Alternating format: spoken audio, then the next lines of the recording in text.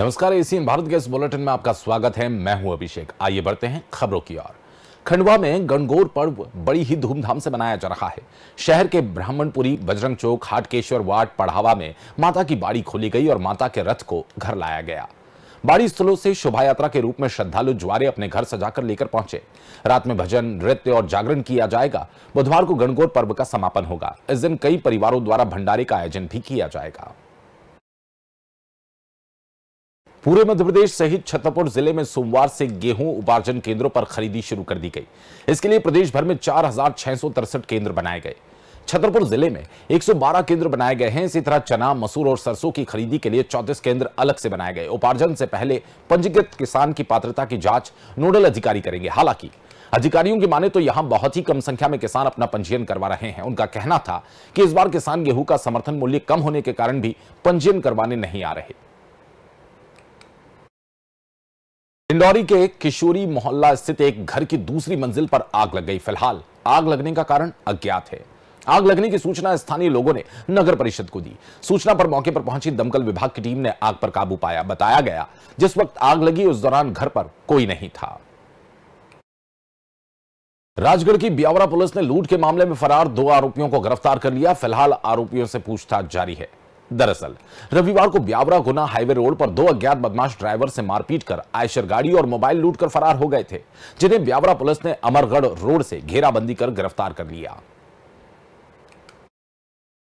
सुनसान एरिया में एक वाहन खड़ा हुआ दिखा, जिसके संबंध में आसपास तलाश की तो दो संदिग्ध व्यक्ति भी आसपास भागते हुए मिले, जिनको पकड़ा गया, जिन्होंने अपना नाम अंकित कुशवाहा और धर्मेंद्र कुशवाहा बताया, निवासी पनाली के रहने वाला बताया।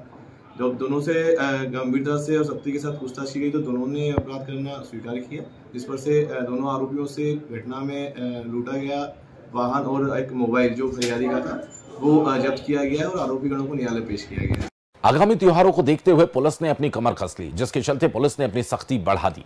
छतरपुर शहर में आज देर शाम पुलिस अधीक्षक सचिन शर्मा, भारी पुलिस बल सहित मोटरसाइकिल द्वारा छत्रसाल चौराहे से पूरे शहर में घूमे।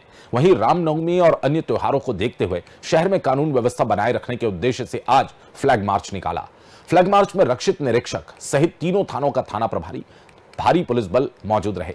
इस अवसर पर पुलिस अधीक्षक सचिन शर्मा ने मीडिया से चर्चा करते हुए कहा रामनवमी और रमज़ान माह के साथ होने के कारण सुरक्षा की दृष्टि से पुलिस प्रशासन द्वारा फ्लैग मार्च निकाला गया। वहीं कहा कि त्योहारों को देखते हुए आपराधिक तत्वों को चिन्हित करने का कार्य किया जा रहा है और हाल ही में जघन्य मामलों में जेल से छूटकर आए लोगों पर नज़र रखी जा रही है। छतरपुर ज़िले में अभी नवरात्रे और जो रमज़ान का माह है वो इस बार एक साथ है। और हमारा जो उद्देश्य है फ्लैग मार्च का एरिया डोमिनेशन का, वो यही है कि सभी लोग सौहार्दपूर्वक और सहजता, सरलता के साथ इस पर्व को बनाएँ। जो हुड़दंगी हैं या जो एंटी सोशल एलिमेंट टाइप के लोग हैं, जो ऐसे मौक़ों पे भीड़ का फ़ायदा उठाने की कोशिश करते हैं, ऐसे लोगों को लगातार हम चिन्हित कर रहे हैं। और इस बार पिछले जो जिला बदर और एनएसए की जो कार्रवाई होती है, वो हम रिकॉर्ड तोड़ कर रहे हैं। पिछले पूरे साल में जो हमने कार्रवाइयाँ जो संख्यात्मक की थी, या पिछले दस साल के जितने भी हाइएस्ट जिला बदर रहे हैं, वो हमने पिछले तीन महीने के अंदर इस साल किए हैं। भिंड के कोतवाली थाना क्षेत्र में पिछले दिनों हुई बुज़ुर्ग की हत्या के मामले का खुलासा करते हुए पुलिस ने आरोपियों को गिरफ़्तार कर लिया। पुलिस के बुज़ुर्ग के बेटे, पत्नी और अन्य आरोपियों ने हत्याकांड को अंजाम दिया था। मृतक के बेटे ने बताया कि उसकी माँ ने उसकी बेटी के ससुराल वालों को फंसाने के लिए बेटे को पिता की हत्या करने के लिए कहा था, जिसके बाद आरोपी ने अपने अन्य साथियों के साथ पिता को गोली मारकर हत्या कर दी। पुलिस ने इस मामले में आरोपी माँ, बेटे और उसके एक साथी सहित तीन आरोपियों को गिरफ़्तार कर लिया है। जनता से तफ्तीश की पूछताछ की।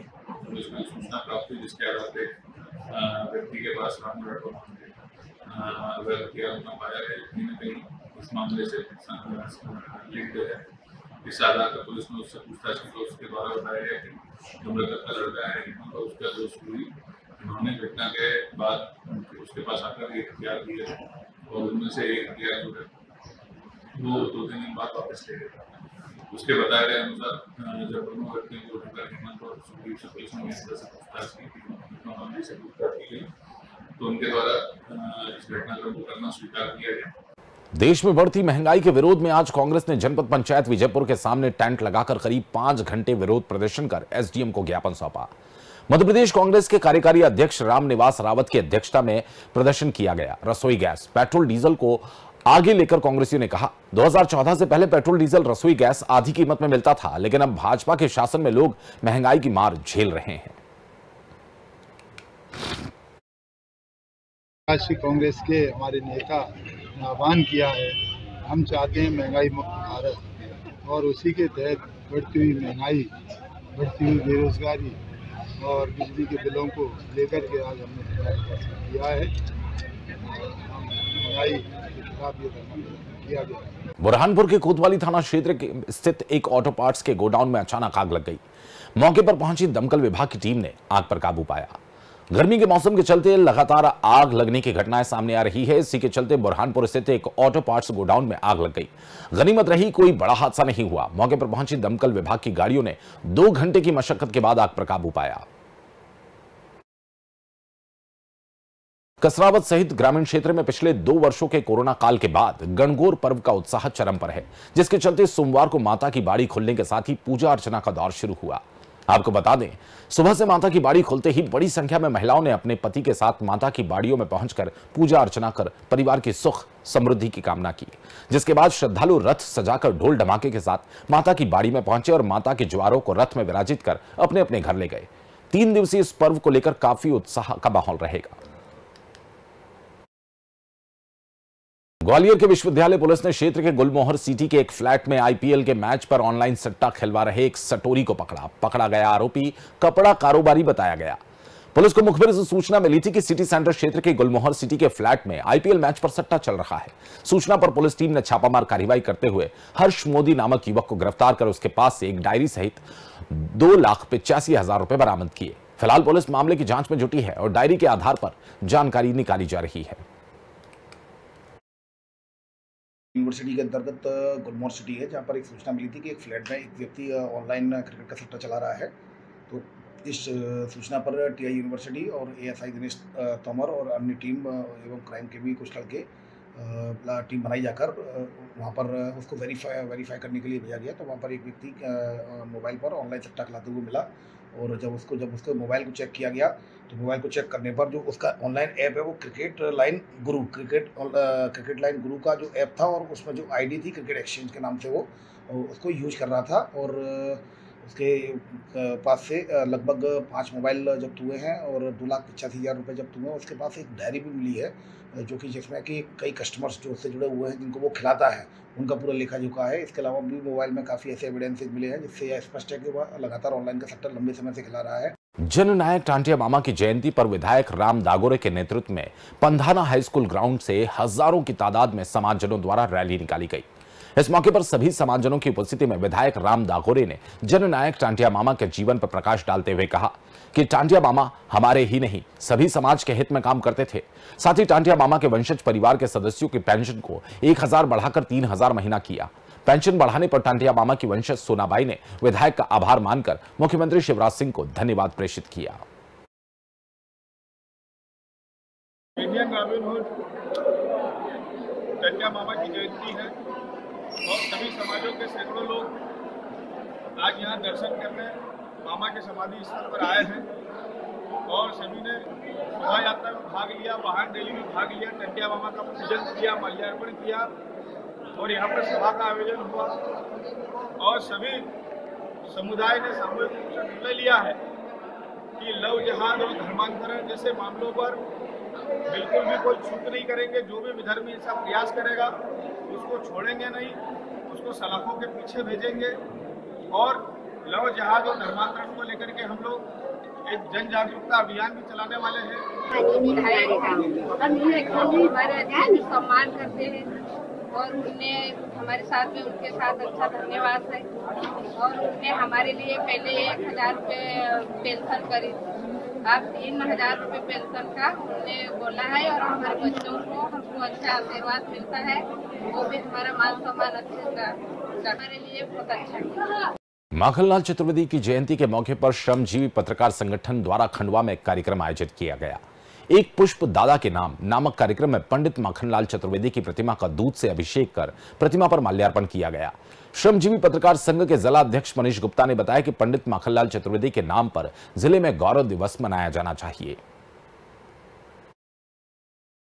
देखा है कि उन्होंने जो स्वतंत्रता की लड़ाई लड़ी है, लोगों ने अलग अलग तरीक़ों से लड़ाई लड़ी, लेकिन हमारे दादा ने कलम की ताकत से स्वतंत्रता की लड़ाई लड़कर हमारे देश को वापस गौरव दिलाया है।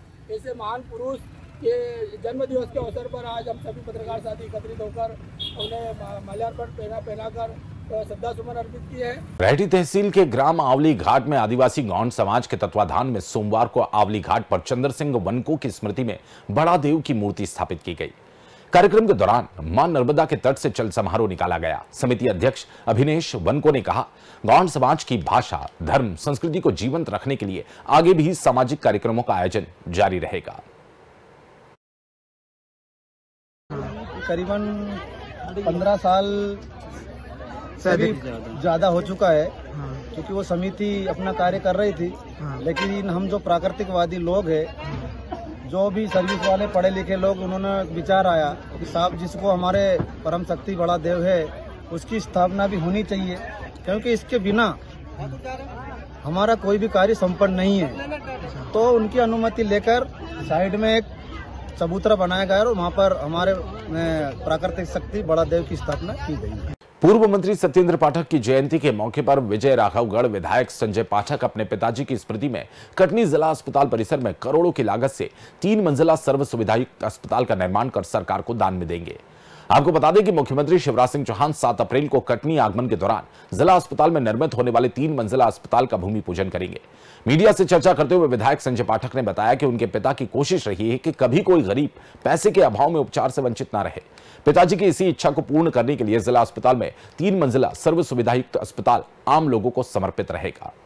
सात आगामी सात अप्रैल को परम पूज्य पिताजी, स्वर्गीय पंडित सत्येंद्र पाठक जी की स्मृति में हमारे परिवार के द्वारा जिला चिकित्सालय परिसर के अंदर जो एक बहुत पुराना भवन बना हुआ है, लगभग साठ सत्तर साल पुराना भवन, उस भवन को तोड़कर वहाँ पे एक नया भवन, चिकित्सा भवन बना के और राज्य शासन को समर्पित किया जाएगा।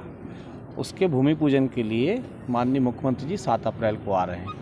उपरोक्त भवन जो है उसमें डायलिसिस सेंटर रहेगा, एक्सरे रहेगा, सोनोग्राफी वाला रहेगा, पूरे लैब रहेगी ब्लड बैंक रहेगा करीब 20 से 25 प्राइवेट वार्ड रहेंगे, डॉक्टर्स चैम्बर रहेंगे, डॉक्टर्स कॉन्फ्रेंस रूम रहेगा और जो जो आवश्यकता पड़ रही है, जो भी तो डॉक्टर्स की आवश्यकता अनुसार सिविल अस्पताल की आवश्यकता के अनुसार वो भवन को, संपूर्ण भवन को बनाकर, उसको फिनिश करके और फर्निश करके और पूर्ण करके, कंप्लीट करके और राज्य शासन को समर्पित किया जाएगा। बुलेटिन में फ़िलहाल इतना ही। तमाम ताज़ा तरीन अपडेट के लिए बने रहे हमारे साथ। देखते रहें एसीएन भारत। नमस्कार।